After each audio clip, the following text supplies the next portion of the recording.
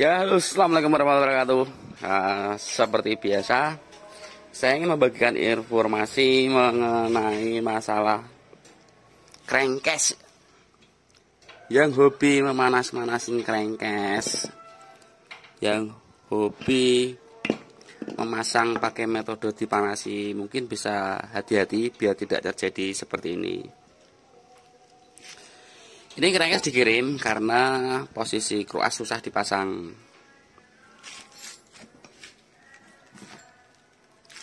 Ini kruasnya.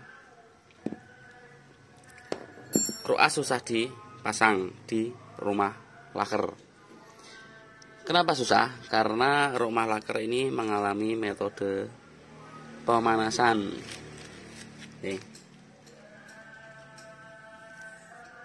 Ini dipanasin karena waktu karena apa dipanasin? Mungkin rumah lakernya longgar.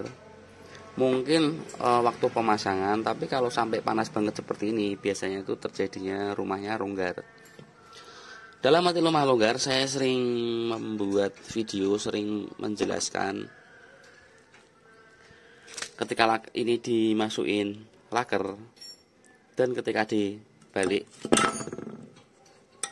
dibalik diketokan seperti itu lakernya lepas itu longgar.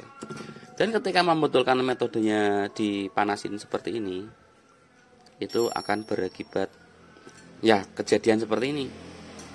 Karena longgarnya terlalu banyak akhirnya dia butuh panas berlebih. Ketika terjadi panas berlebih lubang ini bukannya menjadi bundar ya melainkan bisa terjadi bentuk oval dan kalau terjadi bentuk oval, pemasangan pun akan susah. Karena bearing itu harus ukuran pasti. Kekencangan juga jelek, kelonggaran juga jelek. Itu contoh ini.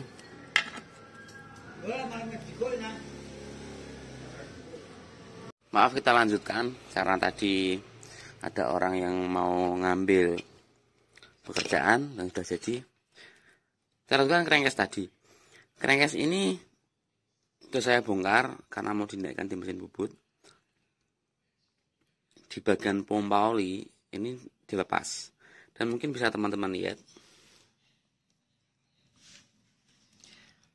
Aluminium itu melebar ke sini. Hmm. Bisa menekan pompa oli. Sedangkan ini seal sama bekas yang dipanasin tadi itu tinggi yang dipanasin. Akhirnya ini karakternya meleleh bisa ditakutkan diameternya ikut bergeser. Ditakutkan seperti itu. Karena ini juga nih pada merempul melentung meleleh dia. Ya seperti itu ya. Hati-hati karena tuh kalau sistem manasin itu harus feelingnya harus bener-bener akurat benar-benar bisa mendekati tepat. Karena metode dipanasi seperti itu panasin seperti ini ini tidak ada ukuran pasti karena kita menggunakan failing seperti contoh pernah kejadian dipanasin seperti ini ces terus dipasang dipasang kruk as. Otomatis dia longgar kan dipasang kruk as. Dan setelah e, mesin ini dingin itu malah tidak bisa muter keruasnya karena bagian bearing itu waktu mengembalinya besi cor ini dia malah menekan bearing seperti ini. Jadi tidak bisa muter. Keruasnya tidak bisa muter dilepas keras sekali. Itu ada pengalaman seperti itu. Ya pokoknya banyaklah metode dipanasin itu akan menimbulkan berbagai macam banyak pengalaman. Makanya saya waktu apa ya melakukan pekerjaan pengelasan atau apa pun itu bearing selalu saya pasang. Ditakutkan kalau tidak dipasang rumah bearing menjadi mengkerut. Kalau mengkerut nanti juga waktu pemasangan susah, kita harus ngebubut ulang bagian rumah kerengkai seperti ini daripada uh, saya banyak ngoceh mungkin langsung kita analisa cara menganalisnya kita naikkan di mesin bubut ya. Bagaimana kondisinya? Karena kalau sudah di panasnya seperti ini itu nanti akan dibubut itu beda akan agak keras. Karena material besinya itu ini besinya besi cor bukan besi biasa ketika material besi terkenal panas itu akan menjadi sangat keras. Oke sekarang kita cek aja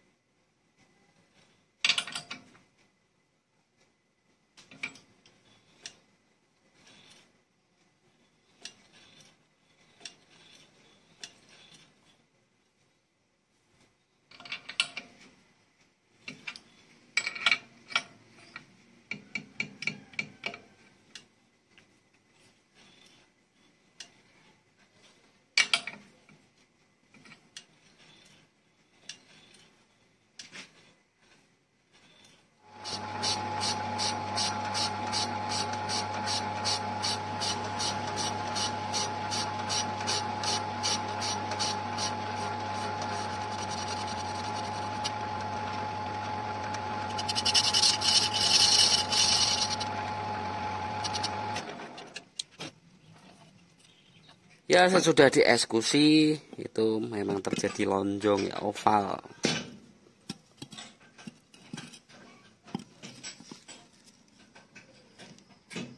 Bagian sini terkena pisau, sini tidak kelihatan kan? Hmm, kena pisau, sini tidak. Ya intinya seperti itu ya masalah krengkes rumah laker ya udah bisa. Udah bisa dipasang. Sekarang kita kasih kabar pemiliknya. Ya sang pemilik sudah dikasih kabar.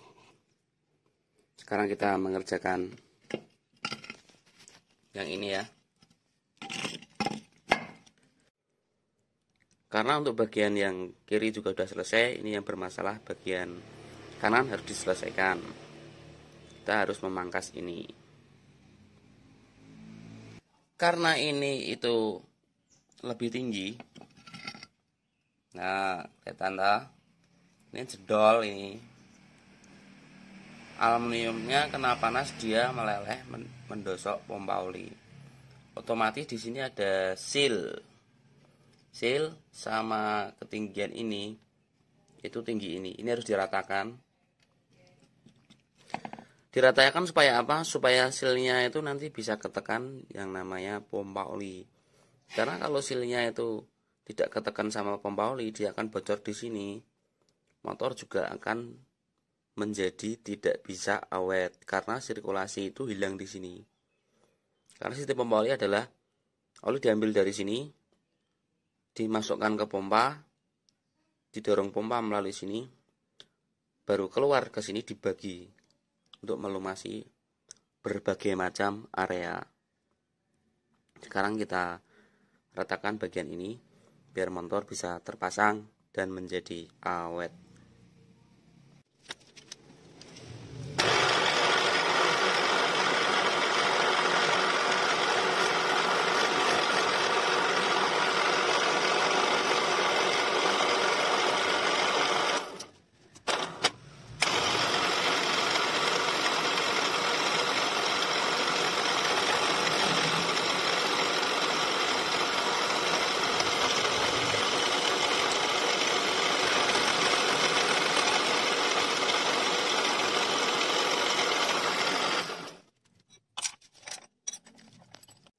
Ya, oke, okay, sudah diratakan.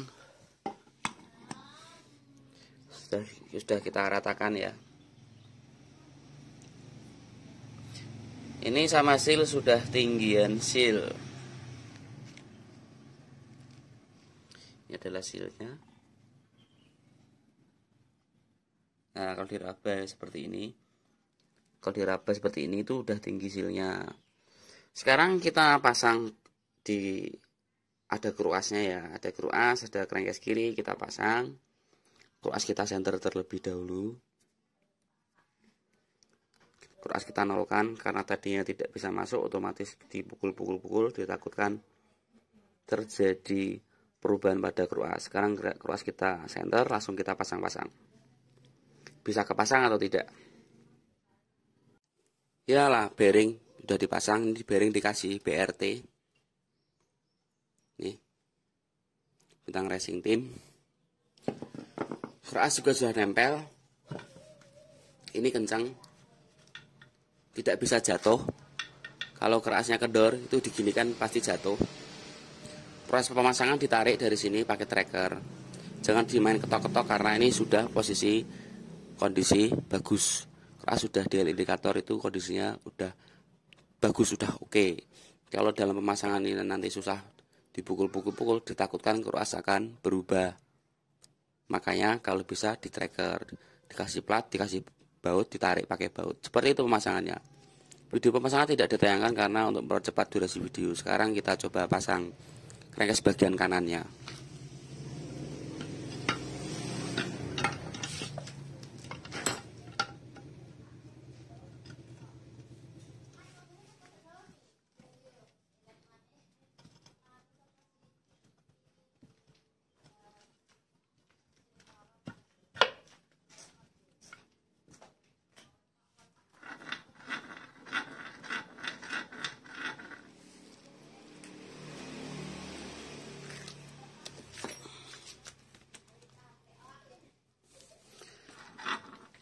ya kerasnya sudah bisa kepasang sudah bisa muter. Sudah oke. Okay. seperti inilah jadinya. Oke okay, seperti itu tadi proses video ya. Ini adalah kelengkapannya. Ada pompa oli ada baut tanam. Saya jadikan satu di sini. Sekarang kita beritahu kepada ownernya atau pemiliknya. Intinya di video ini adalah hati-hati dalam memasang atau membetulkan rumah bearing pada crankcase ya atau coulter intinya itu. Kalau kita model seperti itu kita akan melakukan banyak spekulasi. Karena sistem metode dipanasin itu hanya menggunakan filling atau tidak ada ukurannya. Sekian uh, saya dulu di sini. Apabila ada kata-kata saya salah atau kurang berkenan saya mohon maaf. Video saya akhiri dengan Assalamualaikum warahmatullahi wabarakatuh. Salam otomotif salam. Hebat jalan